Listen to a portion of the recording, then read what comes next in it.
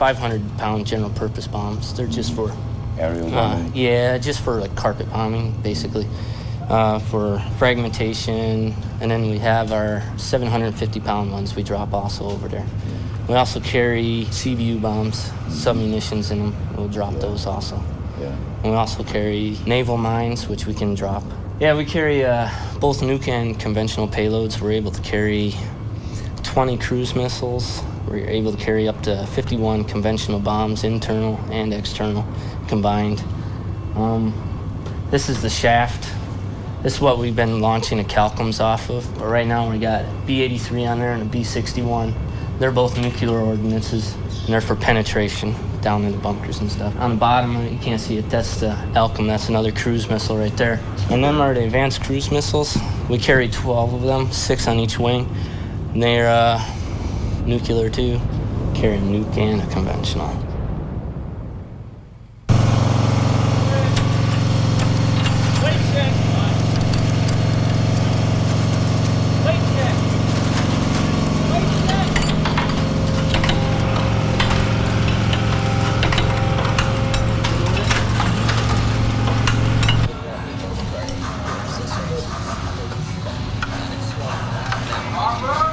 Manche Probleme können nur mit einem gewaltigen Knall gelöst werden, wird gesagt.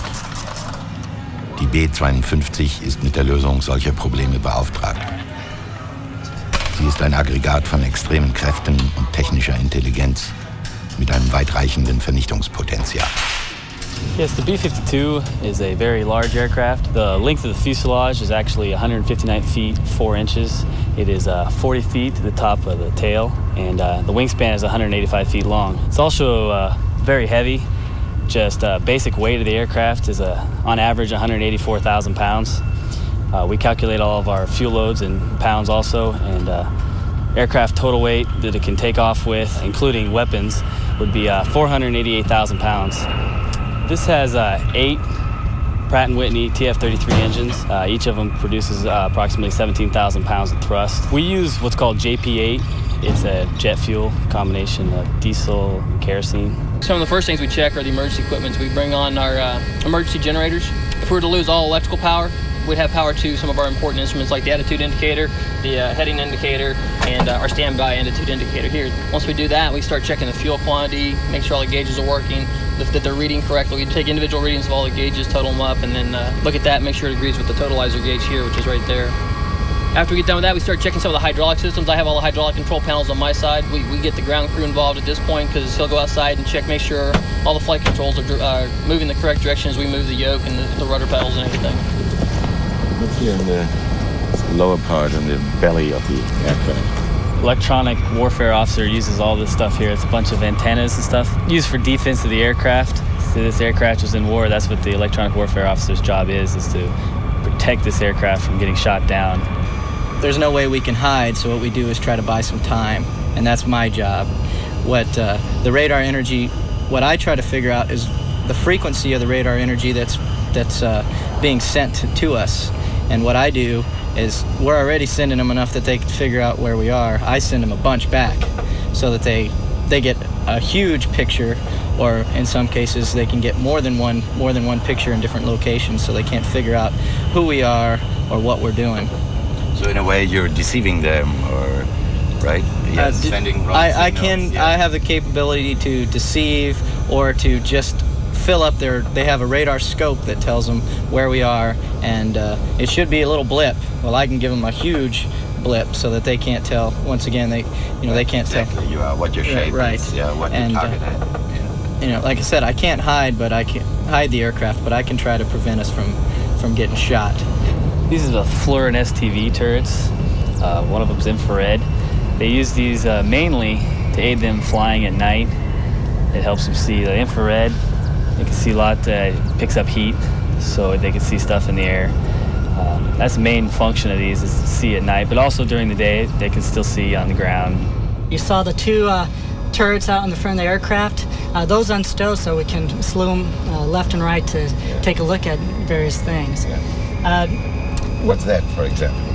well, this right here is our computer control panel. We do have computers. This is how I control that. Uh, we load we load up the computer, and what we have is software. And you can see these empty uh, places here. They're called uh, data transfer unit cartridges. They weigh about, I guess, 10 pounds a piece. Ver you know, they're hardened against any kind of uh, uh, nuclear blast, which say we got any EMP pulses from that. But uh, we load up our computer, and you can see here, this is how we control our computer. And if you notice when you press these, it's not something where you can make a mistake and touch lightly like our uh, what we use now for our keyboards. So kind of outdated, but we have to make a conscious effort for whatever input we put into the system uh, whenever we're doing something. So it keeps us from making mistakes. You got to be very diligent when you do it. Uh, we also have just tons of other panels to take a look at. We do have our uh, various weapon control panels over in here, and uh, the weapon control panel helps us affect uh, releases that uh, is related to our nuclear capability with uh, missiles as well as uh, nuclear bombs, and we use this panel to do that. Aircraft wings have such a big degree of flex. They flex uh, 18 feet total. Once we have a heavy fuel load on it, the wings will go dip down towards the ground, and you know, we'll, we need these tip protection gear out there on the wings to uh, actually stabilize the wing tips. If there's a crosswind when we're landing or taking off, we can line the gear up with the runway, but the nose of the aircraft is actually pointing into the wind. So the gears are going this way, and the nose of the aircraft's that way, and it'll take off that way. I See the red light over The here. abandon light, basically, it's the light that I use to notify the crew that they need to prepare to bail out of the aircraft. A blinking red light means prepare to bail out. A steady red light means to bail out. I've never seen it used in flight. We use uh, an air source outside the aircraft to uh, start the, the start the engines turning, and then once we get uh, certain RPM, we, th- we bring the throttle up out of uh, close. It puts the gas into the the engine, and we get ignition. and We start the engines that way. We start four, and we start five. Those provide us two of our main hydraulic systems to, to have brakes and everything set. Uh, so when we start the rest of them, once we get aircraft power and cooling air, the offense team can start bringing their systems up downstairs. They'll start bringing up their, their bomb nav computers and the radars and everything, make sure they're all working, and uh, we get ready to taxi the aircraft out to uh, to the Hammerhead.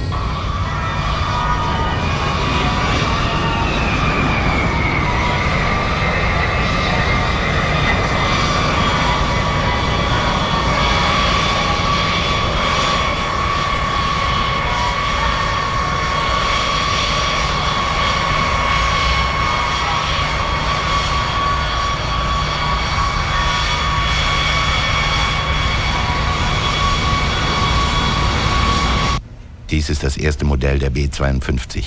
Das Flugzeug wurde 1948 an einem Wochenende in einem Hotel in Dayton, Ohio von sieben Boeing-Ingenieuren konzipiert, berechnet und modelliert. Das Pentagon hatte ihnen Zeit bis Montagmorgen gegeben, eine Waffe für den Kalten Krieg zu entwerfen. Der Kalte Krieg war losgegangen, bevor es überhaupt die entsprechenden Waffen gab, ihn strategisch auszutragen. Die erste öffentliche Vorstellung des Flugzeugs 1952. Ein Mädchen auf dem Atomwaffenbomber. Wie geht das zusammen? Der Kalte Krieg und eine Freizeituniform. Das Versuchsmodell YB-52 aus 100.000 Einzelteilen zusammengesetzt. Gleich in den ersten Bildern vom Bomber wird sichtbar, dass das Flugzeug zuallererst einmal ein Arbeitsplatz war.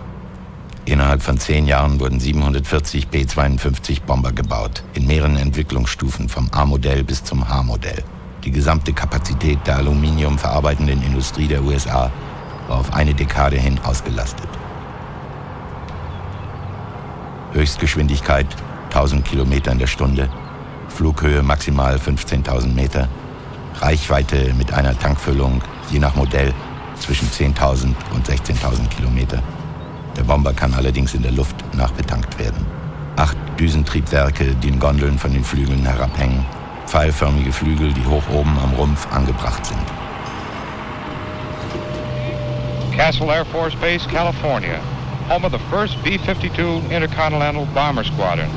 And there is Colonel William R. Smith of Wilkes-Barre, Pennsylvania, commanding officer of the new Combat Crew Training Squadron. Well, the 93rd Bomb Wing, Captain, is the first SAC unit, combat unit, to receive B-52 aircraft. My unit, the 4017th Combat Crew Training Squadron, is a part of the 93rd Bomb Wing, and as such, it's our responsibility to train all SAC B-52 crews. If you'll forgive me for not mentioning any performance factors, as you know, they're still classified. Colonel Smith, what would you, uh, I wonder if you could tell us what the cost of the B-52 is. You mentioned that each aircraft cost $12 million. Uh, is that the uh, aircraft being produced at the present time? No, no, don't mention that. Yeah. You've been talking about it. Oh, you're right. no question. Okay, go right in. Colonel Smith, I'd like to get some information as to the cost of the B-52. Can you give us any information on that? I think so, Captain. I- Excuse me. I believe the, uh,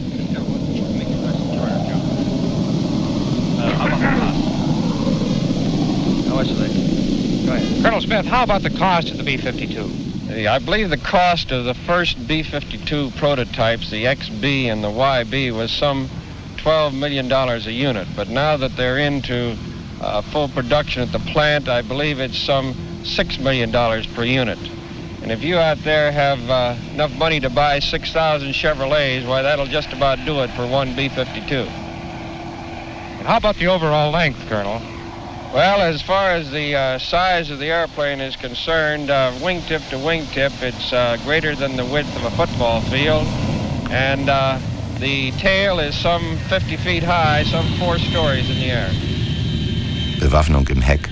Zuerst vier 50 mm Maschinengewehre, später ein 20 mm Schnellfeuergeschütz.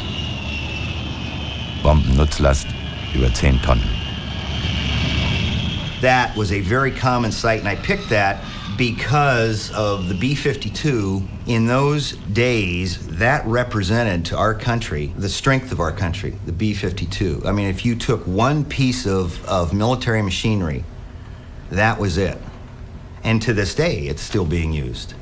Um, but it represented uh, the strength of our country, the protection of our country. You talk to crews who were on the B-52. I mean, it, they always tear up. I mean, it's it was a very endearing aircraft to those people because they knew what it meant.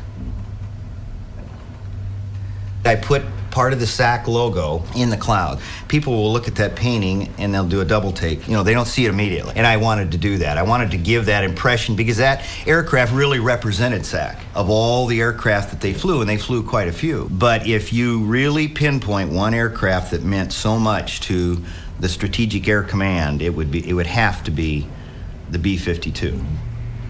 What about this one? Well, this this painting I did that represents the most significant aircraft that SAC flew in its in its entire history.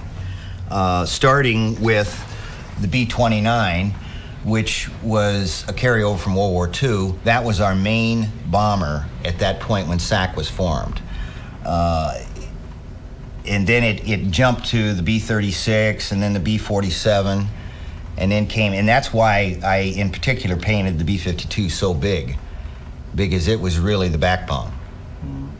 But a lot of people don't realize that, that SAC had fighter squadrons, P-51s, directly after the war that had that job of escorting the bombers. Where's the vanishing point? Eh, There's two types of perspective, mechanical and artistic. And so artists can take a little bit of a license. But your vanishing point would have to be somewhere back in here. But my, my, my, my mission here was to show as realistically as possible, because this could never happen, flying all these in particularly that tight of formation, uh, all of the aircraft as realistically as I could. So doing doing as many aircraft paintings, uh, that's why I put the clouds in here because I wanted to highlight the missiles in the background. So hopefully these aircraft have gone by before they shoot the missiles up. And that's that's the point here. This is not glorifying war. In fact, if anything, this is glorifying peace. The fact that we have come up with these weapons of mass destruction in a time in our world's history we needed to do. But thank God we have not had to use them. You, you see what I mean? Sure. The aircraft, to me, the aircraft is, is, a, is a piece of beauty. Uh, but it represents to me the strength of our country, the strength of peace, the strength of determination. Uh, it's not glorifying the idea of, yeah, let's go out and bomb somebody. No. The fact that we, we if we have to, we can. But I wondered, who's the enemy here? What's the target? Where do they go to? You know, their motto was peace was peace is our profession. Deterrent was the main thing. There was only one, well, actually two, atomic bombs dropped in anger ever. And those were the first two. That deterrent guaranteed that really those missiles were never used in anger because of, of the absolute devastating power it had. Um, so it, to me, that's why I put these in the background because you, we knew and the world knew they were there. We had that capability. And thank God that we never had to use it. But maybe because of the fact that we had it, we didn't have to use it. To somebody walking into the SAC Museum, I wanted them to look at my painting and really have the entire story of SAC right there, as far as the mechanics of it. And that was that was my goal. When I'm talking, you listen. When you're talking, I'm going to listen. Now, here's what we're going to do. I'm going to give you all 45 seconds to get out of your system whatever you have when you say to marry Harry Perry what. And at the end of 45 seconds, you belong to me. How's that? Fair enough? Cool, you got it.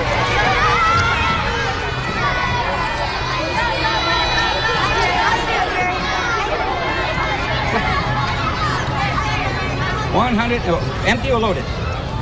Loaded about 170,000 pounds. Okay, just follow me around this way, please. Now we'll go. Let's start.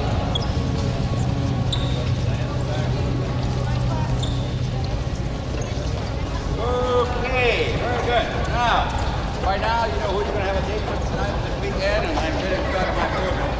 Hold on, please. Number one, at no time,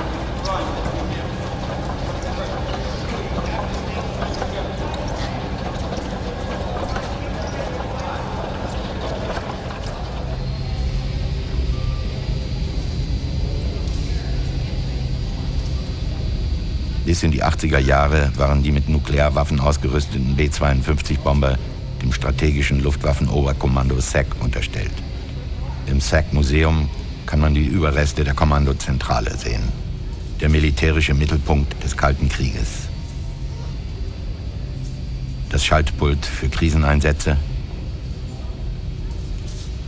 das Schaltpult für die Verbindung zum Oberkommando, die Station des oberkommandierenden Generals von SAC, Schaltpult für die Notvermittlung,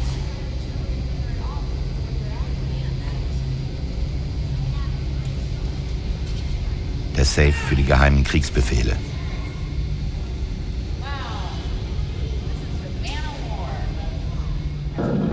Ein Film, der im Auftrag von SAC produziert wurde. Bis auf die Sequenz, die den Einsatz von Flugzeugen, Raketen und Nuklearbomben in einem endgültigen Schlagabtausch mit der Sowjetunion zeigt, wurde der Film nicht fertig geschnitten. So ist nicht zu erfahren, was den imaginären Krieg verursacht hat. We must get ready for it. This is Omaha, Nebraska, almost unquestionably designated as the number one target area because of the Strategic Air Command headquarters just a few miles south of the city. Should the bomb hit this target, thousands of persons would be instantly Are we capable of stopping an attack from Russia right now? Yes, our Strategic Air Command has a tremendous nuclear power. The yield of its atomic bombs is fantastic. And uh, uh, so at this present time, I don't think Russia will dare to go to war. Infamy that this nation is avenging. Die B-52 war auf diese Aufgabe gut vorbereitet. Sie hat bei allen atmosphärischen Nukleartests, die Amerika in den 50er Jahren angestellt hat, die Atombomben abgeworfen. Main officer made good in a few days. The amount of energy generated by a nuclear explosion is enormous. A mushroom-shaped cloud forms and climbs higher. It now contains billions of highly radioactive particles of matter that we call fallout. Das Wappen von Zack zeigt eine eiserne Faust, die unter der Entladung von Blitzen einen Olivenzweig zerbricht. releasing radiation that could cause sickness or death in the area where they fall. We stayed up practically the whole night being questioned about our route and our target and where the defenses were, and it was everybody was alert. There was no sleeping. And then when Kennedy finally came on television on Monday morning, we were released, and uh, we had a heck of a time getting off that runway. It uh, the plane was so fully loaded that uh, it took us forever. He said when I came back, one guy said, one other navigator said to me, he said, "We didn't think you were going to make it because well the, the mathematics works out. I mean, mathematically you can, but we never had taken so much runway before, and uh, we flew our airborne alert around Russia, and uh, they said at that time, uh, past any given point on that route, there was an airplane every 12 minutes, and you stop and think about that. That's a lot of B-52s putting up a nuclear fence right there. Usually the Russians would come up and challenge us, and they didn't send up the fighters, but they were silent. And uh, along the whole route that night, there was very little chatter. It was a very tense situation. And While you uh, were airborne, did you think that this situation might had the potential of an actual strike? Yes, because once they took us off alert, that's the serious situation. That's the war situation. Had never been done before, to my knowledge. And we're holding down an important target. And they took us off alert and assigned us that target airborne. It had never happened to me before, or the other members of the crew either. So, to us, it was it was a situation that this is what's going to turn into reality of, of a war. And throughout the entire flight, there was no communication to us that it was otherwise. That we were in a war situation right now and uh, be prepared. And we frankly did a lot of planning along the route while we we're airborne to see if we had to turn. All you had to do was turn right at any given time and you're headed toward Russia. And at various points, we had flight plans prepared in a, in a locked box. And so all we had to do if we got the code was simply open the box, pull out the proper plan, and then fly the route with the maps that they provided us there. And we already knew the target because we had U2 pictures, of, not U2 pictures, but uh, information that, uh, you know, what was going on there, where the target was, and what we were looking for. Of course, for me, it's hard to imagine how one would feel to be potentially in the situation to initiate a nuclear war, to have all the, the means for that at hand. I don't think we were thinking about we would initiate, though. Yeah. I don't think we'd ever do a. It was my thought at the time we'd never do a preemptive strike. Yeah. That the Russians had to commit first, and then we would retaliate. In my own personal thought, I thought I would never see my home base again. Not that I would die, but I knew that would be gone. And I just, in thinking on it during that flight, I just was happy that I wasn't married and had a family like so many of the other crew members did, the older members. Because I didn't think it would be there. they did not pull any punches on us. They said that, quite frankly, we're a target. We can generate other nuclear bombers, so don't expect to come back here. That clock ticked very close to midnight.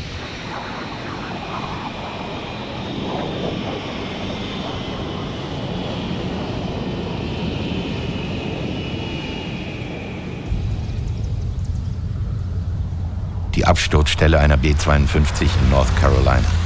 Sie war mit zwei Nuklearbomben bewaffnet. Are you still on groundwater? Yeah. Okay, great. Well, I'm just going to step around there and take a quick sample, okay? Okay. Thank you very much. When the plane began to spin, the right wing broke off. So the plane twisted in two halfway. You had a, a bomb in the back, nuclear weapon. You had a nuke in the front. It twisted in two between the two bomb bays. When it came out, so the plane was going down, when it twisted in two, I guess the other wing must have broke because it was spinning to the right.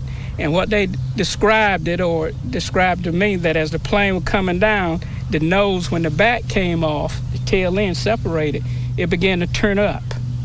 It would turn up and it was moving forward with the top side going forward. Oh, and I was awakened by just a weird, weird noise, which later turned out to be, as we were told from base personnel Seymour Johnson, that the plane had started to revolve in the air and was, you know, which created a really strange noise, which is what awakened me, I guess.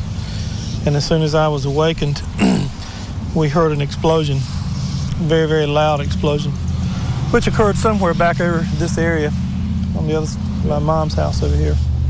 Yeah, it was close to a mile away mm-hmm. from the actual site where the, the main part of the plane impacted on the highway right down here, around the curve.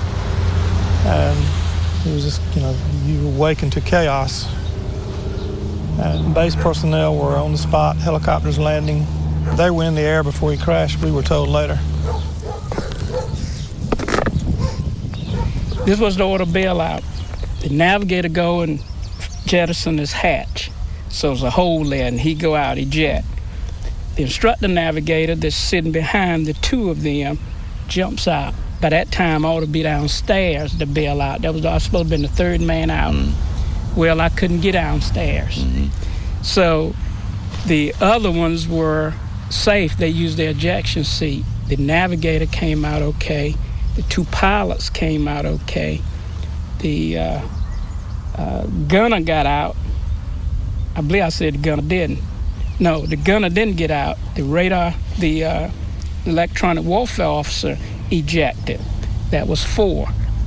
I bailed out without ejection seat and went out the top. There was a crew member that was found in a tree about two miles from here. Had parachuted into a tree and had been killed um, in the parachute. I think he was he was killed in the tree. Probably, I think he was impaled by a limb. A couple other crew members came up to people's houses in the area. I remember two people in the plane, still in the plane, who were obviously dead probably before it crashed. What do you need the water for? Well, basically, we're analyzing it um, for uh, things such as uranium, the kind of things that would be inside uh, a nuclear weapon of the design that might have been lost back here or uh, in the field near Faro. That's why. And So there is a nuclear weapon down there in the. The, the statements from the Air Force, I understand, were that there was a small piece of a nuclear weapon that they were unable to recover because when the plane broke up, uh, the two weapons were deployed with chutes. I think one opened up, and, and the other one may not have fully opened, and it hit the ground and just went into the loamy soil. Yeah, they were digging up the the crash site. Actually, it was it was west of the crash site by probably 150 yards or so. Uh, did they ever tell that there was still another nuclear bomb, most likely? The rumor was that there was a bomb and they were trying to find it and it had gone down. And so, therefore, the hole that was dug, which was huge, which encompassed the whole field up there, which is like five or six, seven acres. And they couldn't get it, and they did get it, and they didn't get it, or did they get it, and that was the whole thing.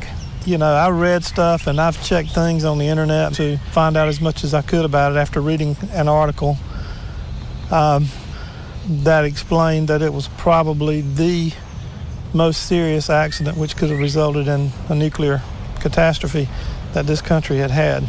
You know, there was the only thing they that I've been told was there was lost uranium.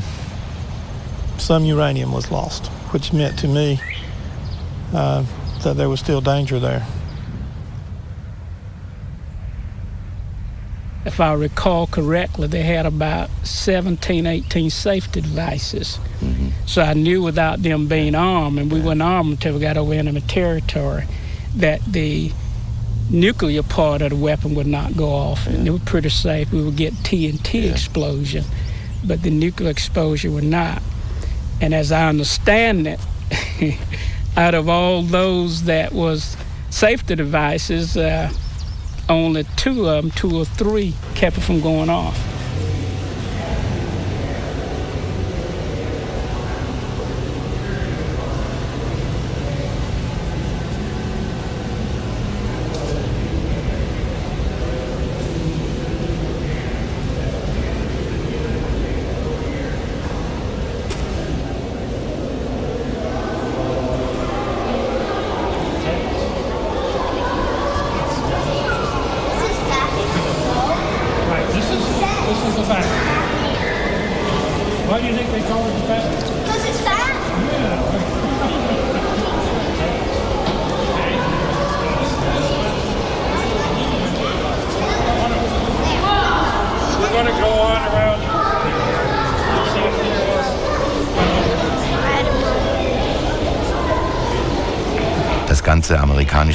Arsenal von Kernwaffen ist im Nationalen Atommuseum in Albuquerque zu besichtigen. Eine lückenlose Kette der Abschreckungsstrategie, immer nah an der Katastrophe. Yes, over uh, a city in southeastern Spain called Palomares. It was located on uh, the, the coast of Spain, and at that point in time, the United States had an airborne alert system called Chrome Dome, which involved having bombers flying different flight profiles around the then Soviet Union as a part of our nuclear deterrence. And in order to do that, air-to-air refueling was required, and during one of those missions, a B-52 aircraft and a KC-135 tanker collided. You see they're in a refueling uh, um, link-up at this point in time. And when they collided, uh, and during the breakup of, of the aircraft, uh, the four B-28 weapons that were on board the B-52 fell free from the aircraft.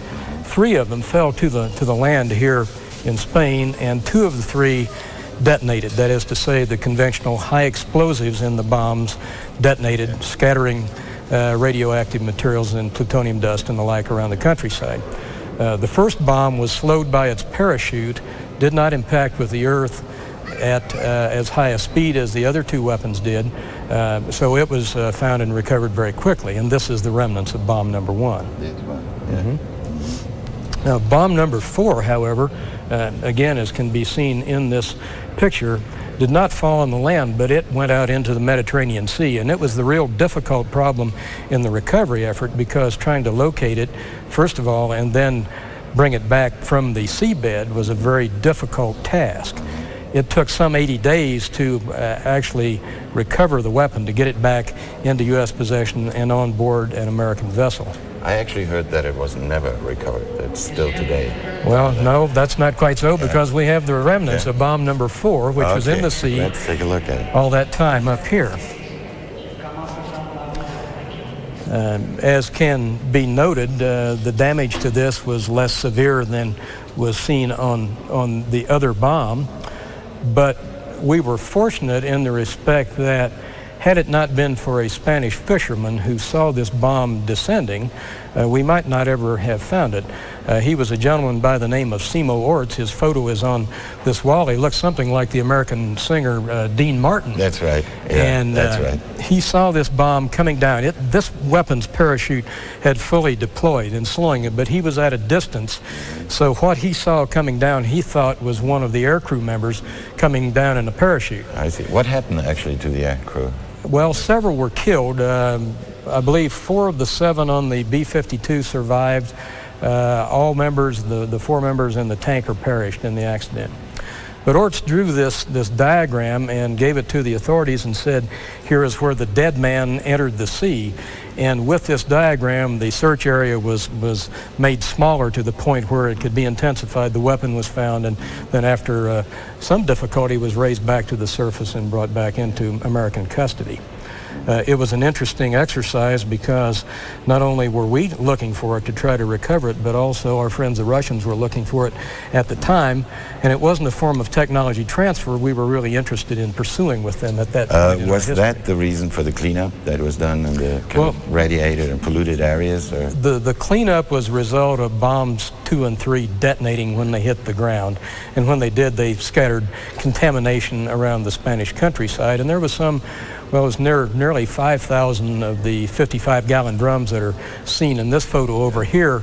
Uh, that were filled with that Spanish topsoil removed and it was, you know, subsequently replaced so that the people in the area could resume their farming and uh, normal activities.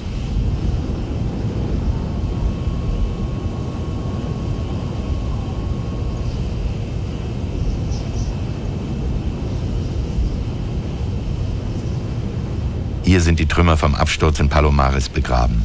Gleich daneben die Wrackteile einer B-52, die 1968 in Grönland abgestürzt ist. Die verstrahlte spanische Erde, die von den Feldern abgetragen wurde und das verseuchte Eis von Thule, heimgekehrt in eine amerikanische Wüstenlandschaft.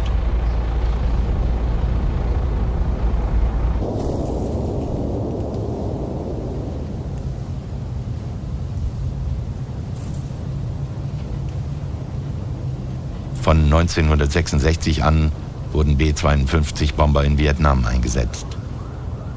Zunächst nur Ziele in Südvietnam und in der demilitarisierten Zone, dann auch in Laos und Kambodscha und später gegen Nordvietnam. Es waren vor allem D-Modelle, die einen Kanonier im Heck hatten zur Abwehr von feindlichen Jägern. Der Bomber war von einem Höhenflugbomber umgerüstet worden zu einem Tiefflieger, damit er der gegnerischen Radarerkennung entkommen konnte. Und statt Nuklearwaffen wurde er mit konventionellen Bomben bestückt. We could carry 108, but we couldn't carry that many 750 pound bombs internal. We could carry 84, we had uh, stations for 84 bombs in there, but we carried 24 750s external. So we'd have 24 750s external and 84 500s internal. That was the largest load. Though for going to Hanoi, we couldn't carry that much fuel. We lost some fuel in that. We, planes max gross weight's 450,000 pounds. And uh, if you got a lot of uh, fuel and a lot of bombs, so something's got to give if you go over the 450 mark. So we reduced that bomb load a little bit. And um, we carried some 60 750 internal and 24 um, 500s external. And also the 500 pound bomb is the, the new bomb, the Mark 82, was more streamlined. It was for the modern jet fighters and it didn't have the drag on the airplane as the 750 pound bomb did. But they found out that when you carry 108 500 pound bombs, uh, you can train those, drop them in a train 6,000 feet long and 3,000 feet wide, one airplane. And so you could take three bombers, which were our normal cell, you could expand that to the width and make that 9,000 feet across, 6,000 long, or you could make it uh, 18,000 long, or you could put it all in the same 6,000 and by 3,000. And uh, would use it um, uh, as area bombing in, uh, in support of uh, the troops.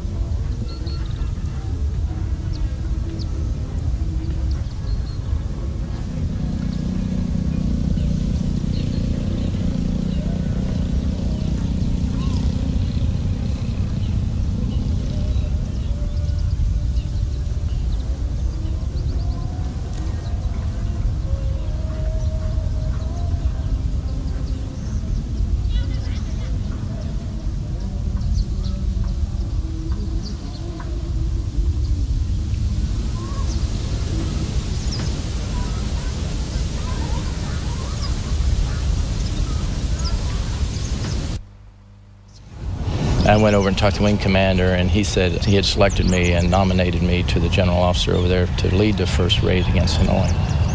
And that was to be on the 18th of December. We hit uh, very hard industrial targets in, in the perimeter, right downtown Hanoi. Uh, Kinh No Storage Complex, uh, uh, SAM sites, uh, SAM locations, SAM fabrication center where they put the SAM missile and everything together, and storage centers for that, uh, rail, major rail centers. And uh, we got shot at pretty heavily by surface to air missiles. Some were successful. I led that group out of Guam, and the mission time on that was um, almost 20 hours in the air. And uh, we landed and uh, 13 hours crew rest, and then we flew on the 20th. It was 18th, 19th, and 20th. Uh, I was a deputy lead on the 20th out of Guam, and we had a bad night that night. We lost six B-52s, were shot down uh, in total of the total force, and uh, it was a pretty rough night. Uh, then I came back out of that mission and um, didn't fly again. We th- there was a stand down at Christmas time, and uh, apparently it was another attempt to try to get the peace thing started, which failed. And then uh, I was told that the 26th we're going to resume bombing, and I would lead that one. Turned out to be 120 B-52s. Uh, out of included Guam and uh, U-Tapao, and um, major force. And we um, the targets uh, Hanoi Railroad yards and the Kinh complex. The Kinh No complex, a big storage area supplies, and that was quite huge. Uh, we went after uh, Radio Hanoi. We went after uh, communication, uh, command and control communication areas, airfields, uh, the whole basket of, of uh, strategic targets. The mission on the 24th went to Kep Airfield. The second mission I flew was on the 26th, the day after Christmas. Uh, that was the biggest uh, mission of the of the 11-day war. 120 aircraft were involved with it. 45 of us from U-Tapao, and the, and the remainder 75 were from uh, from Guam. Uh, there was a, a big scramble, and there were some delays, and I was the last uh, uh, last flight to take off, last crew, to, excuse me, cell to take off from U-Tapao. And because of the delays, we were about 30 minutes late getting off the ground. Once we headed off to the north from U-Tapao, uh, I was to connect up with a flight of G models from Guam because they felt that a D model cell at the back end of a G model wave would protect them from fighters sneaking up and things of that sort. So when I found out that they were about 150 miles straight north of me because I was I was late, then we we brought up our power and we were able to cut the distance down to about 15 minutes, but we were still 15 minutes late coming in on the target. Mind you, everyone else had already dropped their weapons and were gone, and we are coming in 15 minutes late. So I called uh, Red Crown in the Tonkin Gulf, the, the picket ship, and I said, "Don't let the fighter cap above us leave until I finish, you know, because we don't want to be up there by ourselves." So when we came in on the target, it seemed like they were a lot more concentration towards us, and the SAMs were coming up in, in large numbers. Um, and they would just sort of come up and, and, level off at your altitude and come back. Look like they're coming right at you, and you have to kind of stare them down a little bit because until he gets close enough where you can make a maneuver, it's not you're wasting your time. Uh, that's when the gunner was very important to me because he was able to tell me from the rear where the SAMs were coming from and which way to maneuver the aircraft to avoid them. So we were doing a lot of maneuvering and uh, on our bomb run in on, we were bombing the uh, Thai Nguyen, Nguyen uh, steel factory northwest uh, of uh, Hanoi at that time. And then we broke and turned back towards the Chinese border on our exit out of out of North Vietnam. Did you hit this target of the steel yes. factory? Yes, we yeah. sure did. Do you have any idea how much of a payload you dropped over Vietnam overall? Oh, me myself? Yeah. God, I had probably uh, close to 100 missions. Uh, I would guess I was carrying uh, 40, 48,000 pounds roughly, 48 to 50,000 pounds. Most of them 66, 750 pound bombs. So if you hit, hit 50,000 times 100, I suppose that would be something like the pounds that I dropped over, over North Vietnam. On the 22nd December, the B-52 start bombing our railway station. On the 25th, my wife came back to Hanoi. At night of uh, 26th December, at around quarter to 11 p.m. Uh, when I, I heard about the sirens warning about the uh, airstrike. Uh, the loudspeaker at that time said that the uh, U.S. aircraft are far from Hanoi from 30 kilometers, 20 kilometers, 10 kilometers, and they reach Hanoi. At that time, all the people run to the tunnel hide from the bombing. And I start to hear about the, hear, uh, the shooting of our missile in the sky. At around 11.35 p.m., the B-52 start, started the bombing. And the loudspeaker at that time said that two B-52 were shot down. And uh, during that time, I was in my office. So when the bombing finished, I came back to my home and found that my wife, my sister, and my son and two of my cousins were killed because, because one 50 kilo kilo bombs which fall to, into the tunnel. Totally 26 people there were killed, including my relative. Trong vòng 12 ngày đêm mà máy bay B-52 ném bom không thiên ấy, thì họ ném nó ném bao nhiêu lần tất cả có thường xuyên không?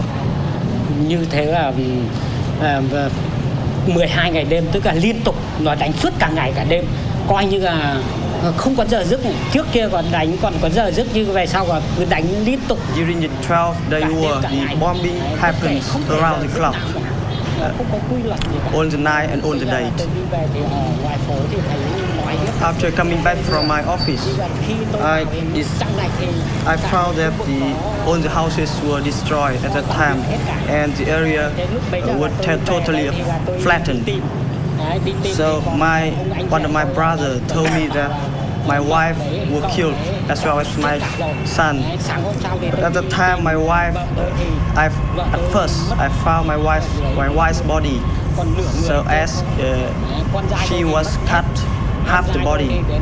And my son and my son I found a little bit later. But uh, about my elder brother, only two months later, I found him uh, where inside the, the destroyed houses. Die Kham-Thien-Straße nach der Bombardierung im Dezember.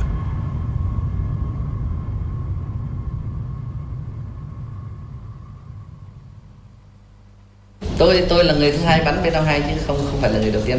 Uh, I'm the second pilot who shot down the B-52. I'm not the first one. Và tôi là nay là tôi bắn ở vùng Hà Nội, còn bạn tôi là bắn ở trong đường 9 Lào Lào ấy. I shot the B-52, shot down B-52 near Hanoi, uh, but my friend uh, shot down B-52 in the uh, uh, num uh, road number 9 uh, in the uh, uh, uh, across the Laos border. Lần đó là bạn tôi chỉ bắn có một quả tên lửa. And at that time my friend shot only one missile. Nên là máy bay về, về bị thương về bên bên bên Thái Lan đưa rơi and the B-52 was injured at that moment and it crashed in Thailand. Thế còn tôi sau đó rút kinh nghiệm là quyết định là phải bắn hai quả. And I uh, I took the lessons from that and uh, I shot two missiles. And my air battle took place in uh, West South Hanoi đại để là đường bay của của không quân Mỹ là đi qua từ phía tây lên qua Lào và vào phía tây nam Hà Nội gì đấy US force came from the west south direction from Laos through Laos. À, tôi cất cánh và bám vào đuổi viên 52 vào đến khoảng gần Hà Nội thì bắn. I um, try to follow the B-52 uh, uh, near Hanoi and and start shooting. Thế thì ông biết là máy bay B-52 nó bay độ cao 10 cây. Uh, you may know that the B-52 flew at the uh, high altitude of 10 kilometers. Thế mà bắn bằng tên lửa phòng không, tên lửa của không quân. So uh, we can shoot them down by the missile. Nên là không phải lúc nào tống bảo vệ được máy bay. So the jet fighters uh, couldn't be able always to protect B-52. Nên là lợi dụng cái sơ hở thì chúng tôi hoàn toàn có khả năng là đánh được. And we took advantage of this and crashed and shot, shoot down the B-52. After shooting the B-52 near Hanoi, uh, I was uh, informed not to fly over Hanoi. Because it was so dangerous. Vì cái bài nó rất là nguy hiểm cái này. Yes. That's right. And of course, it's also dangerous because your own SAM missile would be up in the air. Tại vì là cũng nguy hiểm là tại vì cũng có bản thân những cái tên lửa Sam 2 của Việt Nam cũng bắn lên.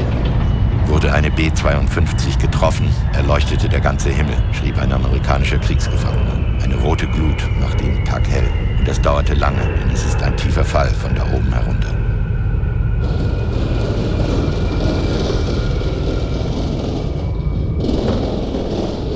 Uh, I think that the objective was the, to destroy totally the military system and uh, anti-aircraft system of Vietnam. và gây ra một cái cuộc giết chóc nhân dân thảm khốc nhất uh, conducting the most terrible killing of the people. phá hủy các nhà máy các cầu đường các trường học các bệnh viện Destroying factories, roads, schools, and hospitals, để làm cho người Việt Nam phải khiếp sợ uh, making the Vietnamese people to be frightened và nhận những cái, những cái điều kiện của mình and accepted all the conditions from the U.S. side. tức là, là, là đánh bại cái ý chí chiến đấu của của Bắc Việt Nam và buộc phải nhận những cái điều kiện đó. They wanted to defeat the sense of fighting from the Vietnamese. Yeah, thì tôi có đặt vấn đề là cho phòng không không quân là tôi hỏi là tiêu diệt mấy phần trăm mấy năm hai thì nghỉ là là không chịu được Uh, in making the preparation for uh, for the defending of uh, our country at that time, I put the questions that how how many percentage of the number of the B-50 bomber will be shot down uh, in order to make the U.S. Uh, stop the war in Vietnam. thì cơ quan nghiên cứu của chúng tôi là trả lời cho tôi là 7 phần trăm And uh, the researching uh, institutes in Vietnam gave me the answer that around 7%. nhưng mà thực tế đến cái ngày 27 ấy, thì là hạ là có thể là 17 phần trăm But up to the 27th of December 1972, we shot down 17%. Zwischen dem 18. und dem 29. Dezember wurden 730 Einsätze geflogen. 15.000 Tonnen Sprengstoff wurden abgeworfen. 1.300 Vietnamesen wurden getötet. Die meisten Zivilisten. 880 SAM-Raketen wurden auf die B-52-Bomber abgefeuert. 24 wurden getroffen, 15 stürzten ab. 30 Amerikaner kamen dabei um, 30 gerieten in Kriegsgefangenschaft.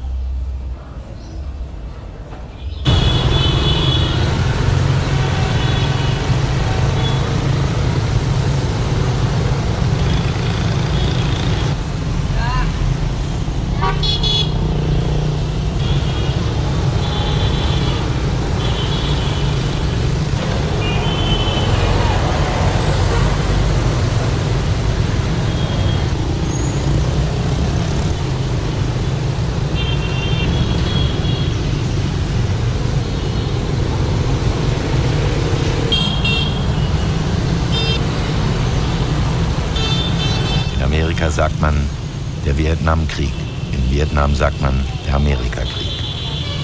In Amerika sagt man die Linebacker-Mission. In Vietnam sagt man Dien Bien Phu in der Luft. In Amerika sagt man der Elf-Tage-Krieg. In Vietnam sagt man der Zwölf-Tage-Krieg. Dieser eine Tagunterschied dauert in Vietnam bis heute an.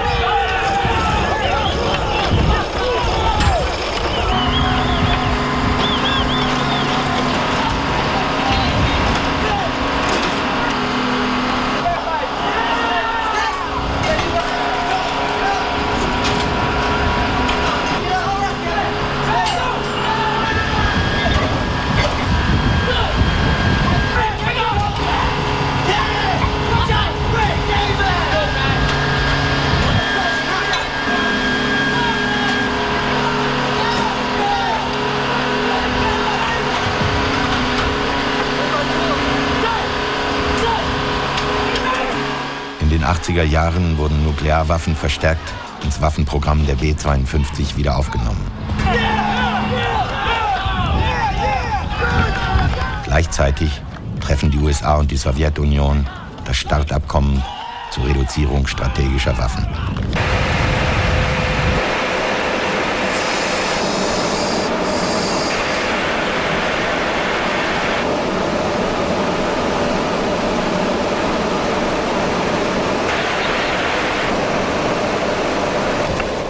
Der Golfkrieg 1991. 45 B-52 werden eingesetzt, zum ersten Mal ausgerüstet mit Calcoms.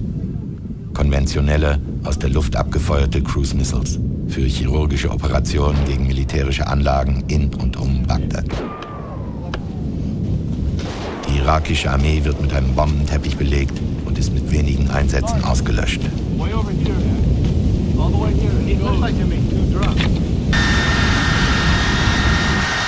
Desert Strike 1996. B-52-Bomber greifen Bagdad an. Dieses Ding kann überall auf der Welt hinlangen, sagte ein Sergeant und zeigte auf den Bomber hinter sich. Und das heißt, wir haben überall auf der Welt die Macht.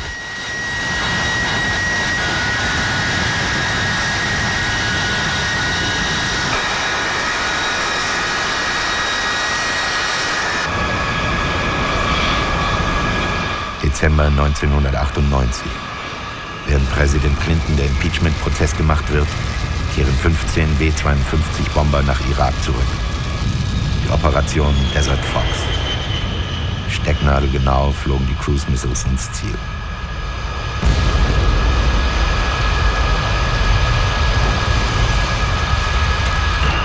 Mit dem Verschwinden der Sowjetunion aus dem Kalten Krieg wird wieder möglich, auf begrenzte Weise einen Krieg zu führen.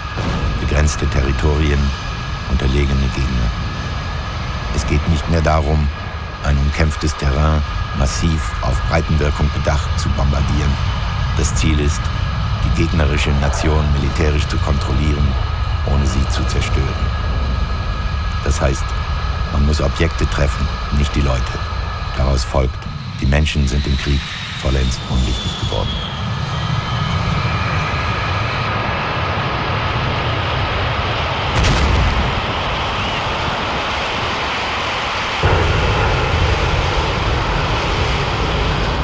März 1999 werden sechs B-52 im Kosovo-Krieg eingesetzt. Sie feuern drei Dutzend Cruise Missiles ab. Clearly, it's the best weapon system ever built. You think so? Uh, Why is that? well, it's flexibility and versatility. The airplane's been a high altitude nuclear bomber, a low altitude nuclear bomber, conventional bombs, uh, standoff missiles, from the very earliest Hound Dogs right on up to the advanced cruise missile today.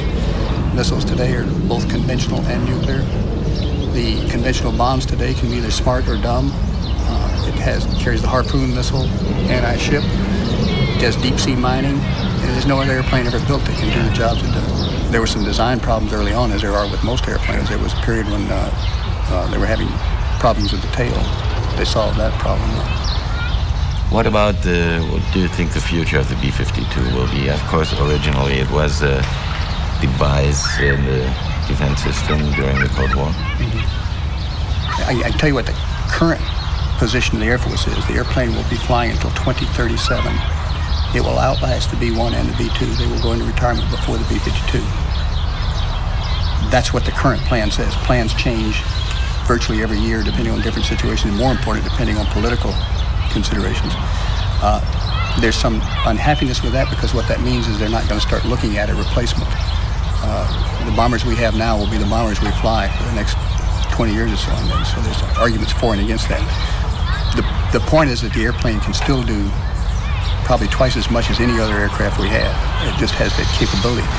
Uh, we can't replace the missions that it can do. Uh, the B-1 and the B-2 can't do all the things that the B-52 can do. How long it'll stay, I don't think it'll be around till 2037. I think uh, economically they'll decide, I think they'll decide to replace the airplane sooner. The airplanes we fly today are 37 years old, but airframe-wise, they're fairly young airplanes. The H model did not fly in Southeast Asia. So it didn't build up all those all those hours on the airplane that the D model did. We wore the D models out. Uh, the H model, most of them have something in the neighborhood of 14,000 hours, which isn't a lot of hours on a big airplane. So the airplane physically can last for a lot longer, whether they'll decide to keep upgrading the avionics and so forth. They have announced recently that they are going to upgrade the, the avionics inside, uh, so it will be a modern airplane again. It gives us an ability to to have a heavy presence overseas very quickly. Nothing else can give us. Uh, also, it's a it's a again a political symbol. When you base when you forward deploy B-52s, the other side knows you're serious. Uh, as you know, the first strike launched against Iraq was B-52s. Yeah. The first attack against uh, Kosovo B-52s out of Fairfield.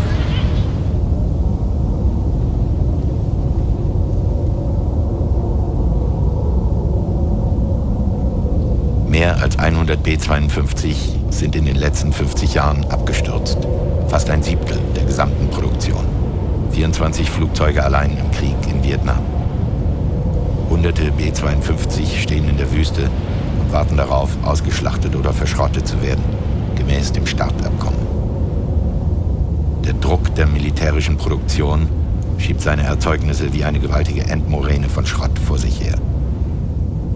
Zu denken, dass der Kalte Krieg nur eine Erfindung war, ein Knall, der nie laut wurde.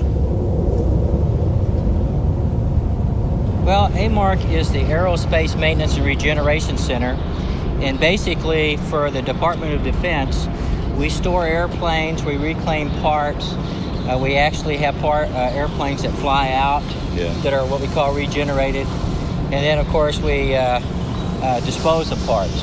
So basically, we have four processes. Uh, the first process is where we uh, will have an airplane uh, that will have an opportunity to, to go back out. The airplanes that are identified by their systems program manager that had a chance to fly again. Uh, example would be the F-4s are, are, are, flying again. They're in the dro drone program. Uh, we just recently took out some F-18s for the Spanish Air Force. So we will protect it with the uh, coating that we call Spraylat, which is a very thin plastic type coating that we put on it. And then every four years, we'll bring the airplane in. We'll take the spray Spraylat off of it. We'll look for any corrosion, which we normally don't have a whole lot because it's very dry here. So we'll bring the airplane in. We will uh, refuel it. We will run the engines. We will check the systems. Uh, then what we will do is we'll represerve it and put it back out in the desert. The second category is that the airplane itself isn't going out, but we may need the parts. What are the parts you retrieve from the B-52s that are out there in the desert? Well, for the, for, for the B-52s, uh, we just recently, uh, with stuff that was going on with Iraq, as well as what's going on uh, on over uh, in the European theater, uh, we've had to pull gears, landing gears, for the B-52s. They're okay. they're in uh, heavy use. Yeah. The problem that we have is that there's not a whole lot of B-52s still around. Yeah. We have the G models here. The the Air Force is flying the H models. Yeah. But a lot of the parts are interchangeable mm-hmm. on the 2 uh, models. I see. Uh, basically, what happens is once we uh, have uh, cut the airplane, we will have contractors that will bid on the scrap metal for the B-52. Uh, and what they will do is they will pay whatever the price of the metals is for the time period that they're that they're buying it. A B-52 the last one I think that got sold uh, was about $50,000. One of the interesting things is one of the companies that uh, buys the, uh, the metals, they uh, get the scrap, uh, they take it in a truck up to Michigan, it's remelted and it becomes another airplane. Yeah. So that's kind of neat. It, yeah. Uh, yeah. it lives on, it uh, yeah. has another life.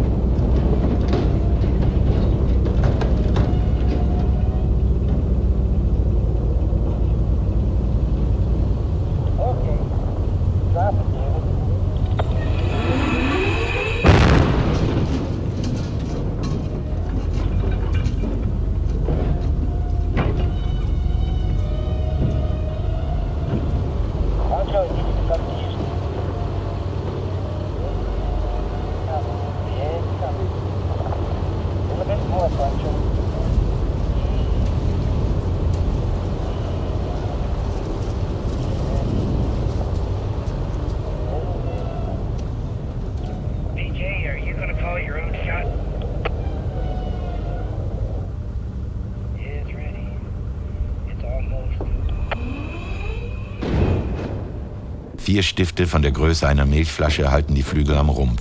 Eine denkbar einfache Mechanik. Es braucht aber einen Kran und eine fünf Tonnen schwere Metallplatte, den Flügel vom Rumpf zu trennen. Es braucht vier Männer, eine B-52 zu vernichten. Sie zu bauen, benötigt es Tausende von Menschen und hundert Fabriken.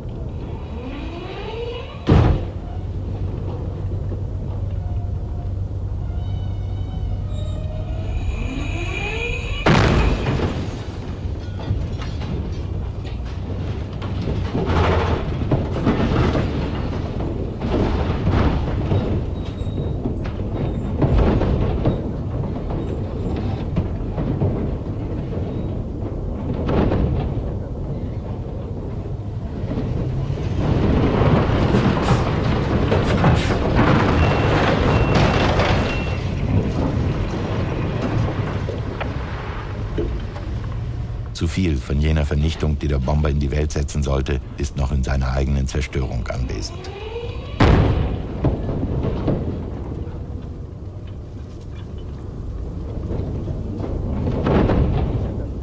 Wenn etwas ungeschehen gemacht werden soll, müsste man es Schraube für Schraube, Niete für Niete auseinandernehmen.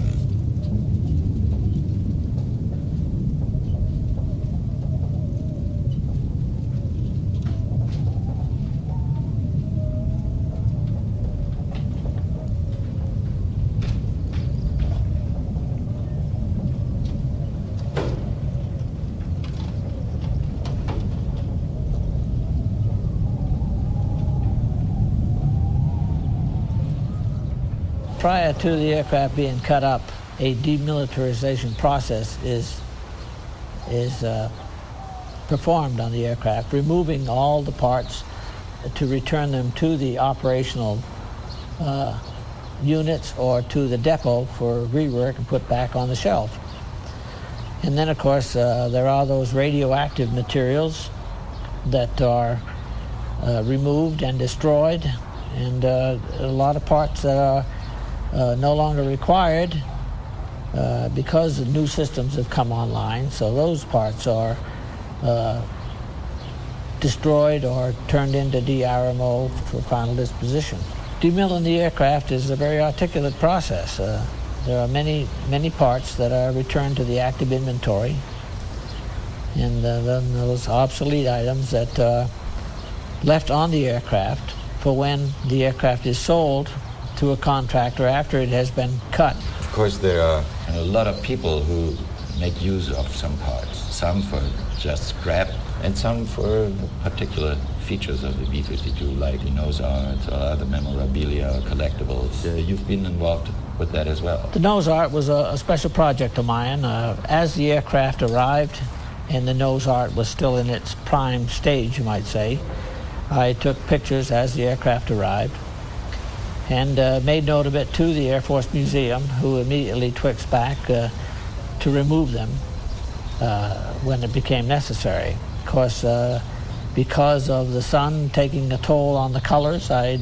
determined when the nose art would be removed, at which time it, uh, and it's a very uh, tedious process to remove this nose art because of the thickness of the, the aircraft. Did you pick particular art pieces? No, Only there- the best ones? No, there was were there were 76 aircraft with nose art on them. Of course, uh, when and these are the Desert Storm aircraft, and there were a lot of air, uh, nose art that were painted over because the aircraft landed uh, or uh, staged out of uh, Saudi Arabia, and that nose art was offensive to that country, so they were required to paint over them. So we weren't able to uh, preserve that nose art.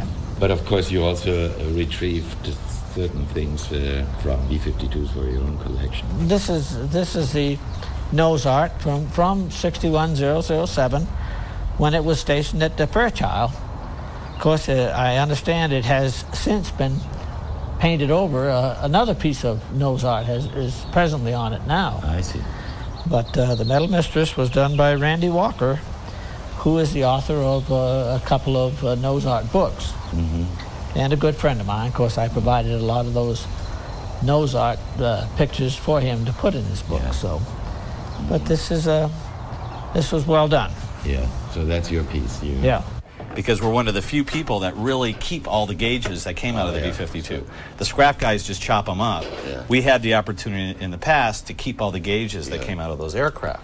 So you go over there to AMARC and uh, bid? Or? What I will do is I'll work with somebody on, who buys the planes as scrap and say, I need a few parts out of your airplanes and I'll make a deal to buy the parts. I'm not Oh, yeah. interested in the metal, but there are a few items that I'm interested in. Here's more of, of, of a similar uh, fuel quantity indicator. And, you know, if you went to go build this gauge today, go to an instrument company and say, I need a fuel quantity gauge that does this, this gauge would probably cost you $10,000.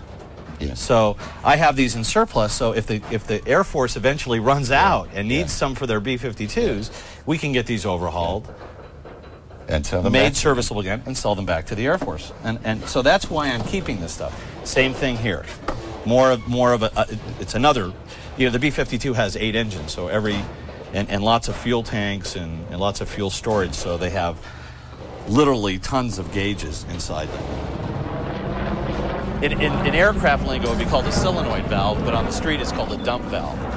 And the uh, lowriders, or the guys who you know build those cars that hop up and down, need that valve to control the hydraulics for their system that makes their cars bounce up and down. So the B-52s are one of the few sources left of those dump valves. Then the B-52 also has uh, an air compressor that was used in the aircraft to, to you know, to generate uh, breathing air, and we would sell those to dive shops who put them on boats as portable. You know, they hook up filters and modify them whatever the way they need to, and they use them to refill uh, scuba tanks on boats. And then uh, there was a the hoist that was used to lift the bombs inside the B-52.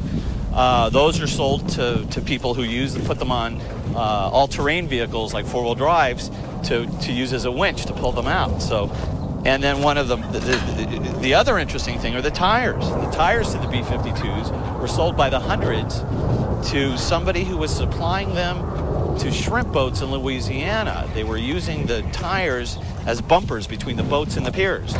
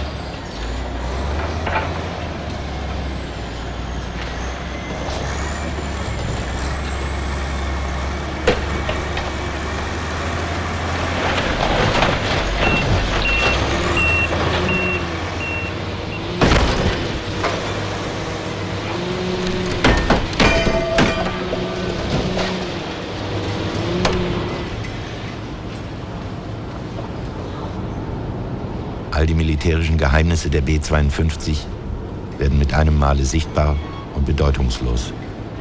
Ein Kommunikationssystem und keinen Sinn.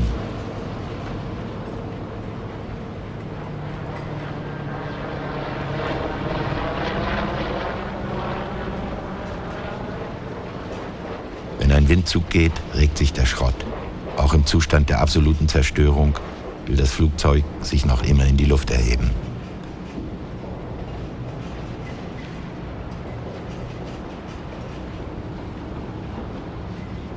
Kabelbäume von 50 Kilometer Länge gehen durch eine einzige B-52, reinstes Kupfer. Die Stecker und Steckdosen sind aus Gold und Silber. Vielleicht werden aus dem Aluminium wieder neue Flugzeuge gebaut, vielleicht auch nicht. Alles kann weiterverwendet werden. Was ist Recycling? Material sichern, ihm eine neue Funktion geben, ihm eine neue Form geben, einen anderen Zusammenhang finden.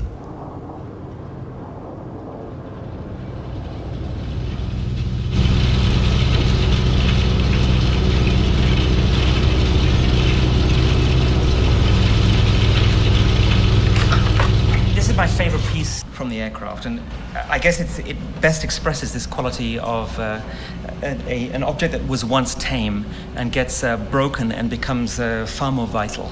And uh, you know, it has a, this incredible kind of uh, materialistic kineticism uh, to it, and. Uh, uh, I can't. It's still my favorite piece. I I, uh, I like it a lot because it's, it's it's come alive. You know, through we talk about uh, va- the violence uh, before. We were talking about that, and for me, uh, it, it sometimes takes that to make something extraordinary. Yeah, I can't look at metal when it's tamed. It doesn't interest me anymore. it's got this wonderful noise too. We've got, um, you've seen some of these over the spare bulb lamps. Yeah. Um, I shot JR, um, the bird. The nice thing about the spare lamp boxes, and these were in the tail gunner section, and they actually would open to reveal spare bulbs for uh, various instruments and, and fuses. But people wrote on the inside, on the outside, um, in an immense amount of layers of writing in these spare bulb boxes. So this is one of the things we fixated on in the tail gunners section to pull out because this is Mhm. where you found a lot of the most interesting uh, kinds of writing written by all sorts of people who never intended us to read it.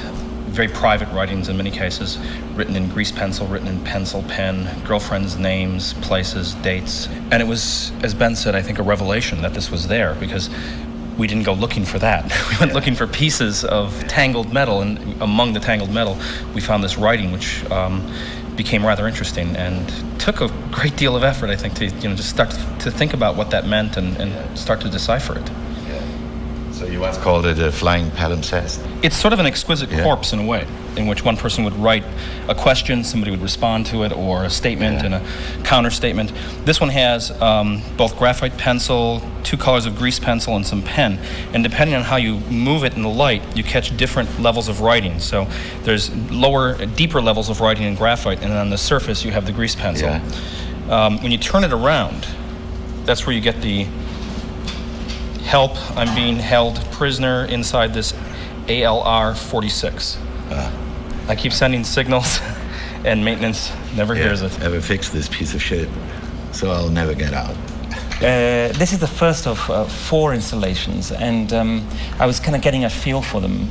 And uh, at this point, was uh, you know especially interested in in um, making it a sort of an encyclopedia of everything about the aircraft, so that there are kind of components, uh, you know, the black painted pieces, which uh, is of Vietnam uh, Ds, mostly Ds, uh, not only Ds but other ones uh, so that uh, anyone looking at it would be would be able to see various camouflage colors in here, and so that the the, the sculpture comes together in that in that light. Um, the the part that uh, What's in here? yeah, this is um, um, actually a, a urinal. Uh, for I believe the rear gunner because he was by himself, Yeah. and it has this wonderful little trigger um, that, that uh, kind of opens it up. It's made in Culver City, uh, uh, uh, California. Yeah, Los Angeles. Yeah, right. And uh, and you're hiding it in here. yeah, it's, the, the guys in the office here, they really love it. They, Yeah. It's their favorite bit, actually. Yeah. Uh, so all sorts of overt things, and then these are pages from um, the flight manual, the basic flight manual, and um, these these are uh, refueling cells. Uh, you know, this wonderful, ominous uh, kind of phallic flight going on. And um, here is, I think, for all of us, is you know, a very unique piece. It's a this red uh, bulb that, um, how should I say, it apparently only went off uh, when the aircraft was going down. And so it, it's a particularly succulent ruby red, uh, Yeah. testiculate form. And uh, apparently, when it went off, that was it. Yeah. Uh, and um, So you were on, as a crew member, you were on the verge of life and death. That's, that's what way. it is. Yeah. And, and for, you know, the, the, perhaps the beauty of this project is that you can have in your hand an object like that. And for those people who are part of it and those people who know the story, uh, it becomes an icon. Mm-hmm. Uh, and uh, it becomes an instrument through which you can relive Mm-hmm. uh, the whole experience, even as a spectator or as an observer or as, a participant. Mm-hmm. And it's been, you know, very good fun to watch the different sorts of objects that we've all collected out of the desert. Um, I've always been interested in in pieces that, how how should I say, come alive when they're broken. Um, that metal is tame, and then suddenly it uh, bursts into life when it is stressed out by these incredible forces. And um, you know, this is key for me is to is to not only have these forms and little stories, but also to find a sort of uh, uh, opiate beauty of metal. And to have within the kind of 20th century technology uh, thi- this flip side that you have tamed rolled metal, and then all of a sudden the other, the thing that is left out, uh, that shouldn't be, one of the things this project does is it starts to, to meditate and work through this intimate connection between art and war that I think we, we tend to want to get rid of. We, we don't want to think about it, but I think it's always there. It haunts it in a way and really asks us to think about it and grapple with it um, in a way that doesn't sit comfortably with art here, violence here, but starts to think about that, that uh, bridge between the 2 Uh, for me, th- this is the fascination about the B-52 in, in that it is capable of touching on uh, all facets of contemporary uh, American culture. And that, you know, we can talk about art and war, but we can also talk about food and war. And we can talk about, uh, you know, cornflakes, people buying, uh, having the, the right to buy 40 different boxes of cornflakes. And if they cannot uh, see that uh, the, a military presence makes it possible to have that choice, then there's a problem. That that for me, um, in the end, if you separate anything, if you kind of put art and war into different boxes, that's a problem. If you put art, war, and domesticity uh, in separate boxes, it's an even greater problem. You know, the, the B-52 uh, touches on all of these sentiments. Uh, internationally, nationally, popular culture, graffiti, sexuality, you know, technology. I mean, there's nothing left out. Uh, and, and it's one object. That's what I like about it so much. It is an object. It's a thing. It is a um, palimpsest in three dimensions, not only textual, uh, but it's a palimpsest that touches every facet of, of uh, what we're up to. Do you consider this work, your work, with the B-52 also as a form of recycling? I mean, you, you you have to get into the history of metals uh, before answering that. And, and uh, you know, there's this wonderful story that um, the bronze tiles uh, from uh, Hadrian's um, uh, Pantheon uh, were melted down to make cannon for a pope who was holding out in Hadrian's tomb, Castel uh, Angelo. And then that bronze moved over to make Bernini's uh, uh, Baldacchino in the Vatican. Now, uh, the guys who made that uh, Baldacchino, they probably knew, in fact, they would have known where that metal came from, that it was pagan metal from a pagan temple, processed to make a military uh, cannon for a pope, who then took it off to make Bernini's masterpiece, or one of his masterpieces.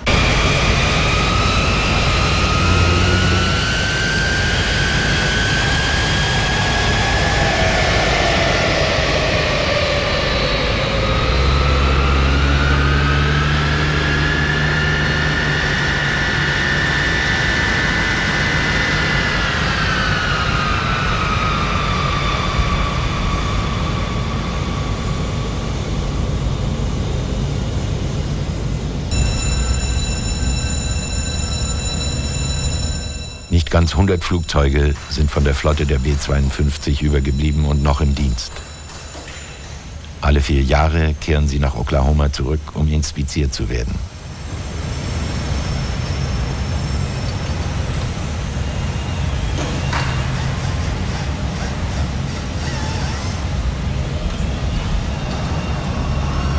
Hier taucht die B-52 als Arbeitsplatz wieder auf.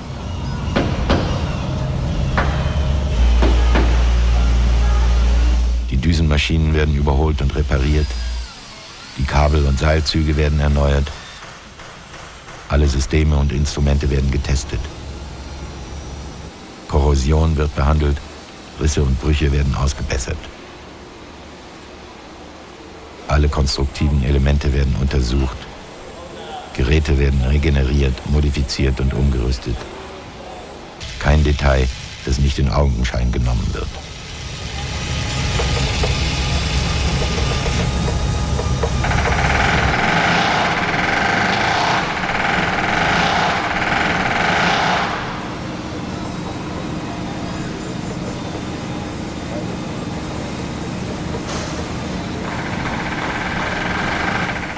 Das Flugzeug wird beinahe ein zweites Mal gebaut. Als ob man den Deckel einer Mechanik abhebt, um ihre Ingeniosität noch einmal bewundern zu können, bevor sie vollständig obsolet wird. Der wahre Schauplatz des Kalten Krieges waren vielleicht die Produktionsstätten.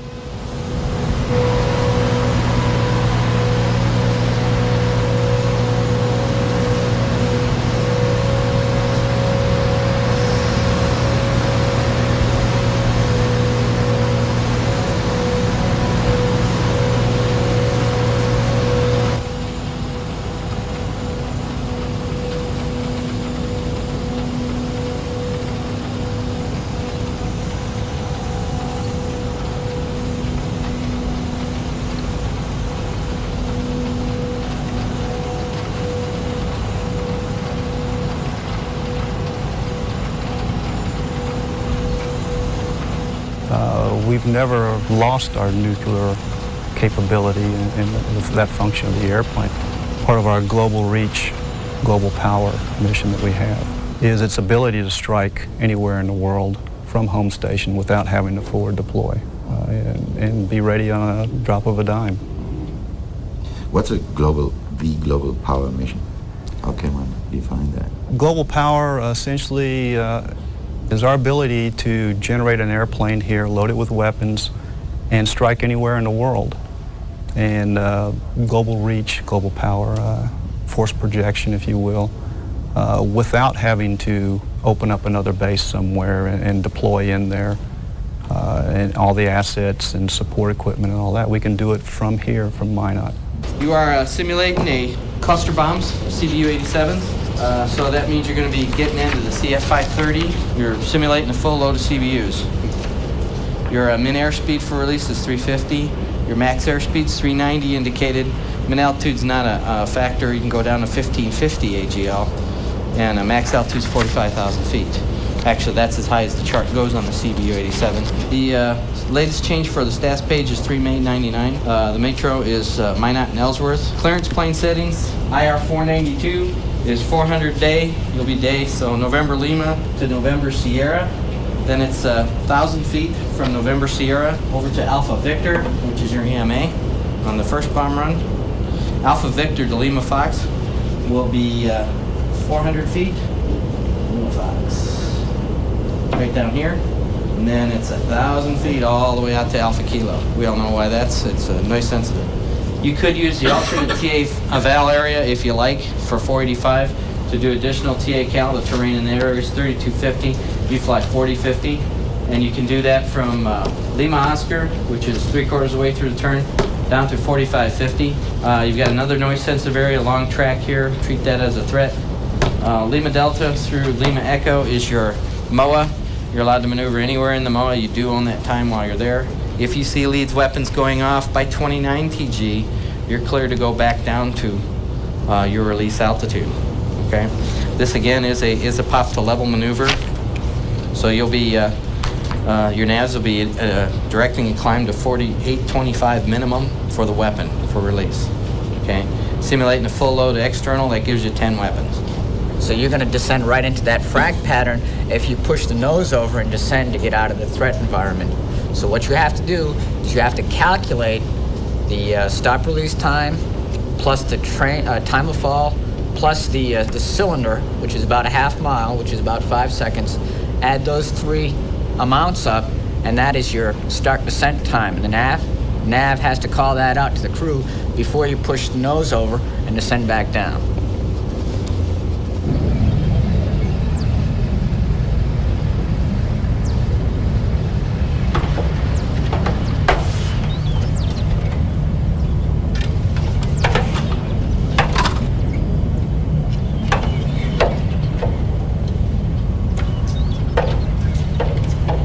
Lebenserwartung einer B-52 beträgt 70 Jahre.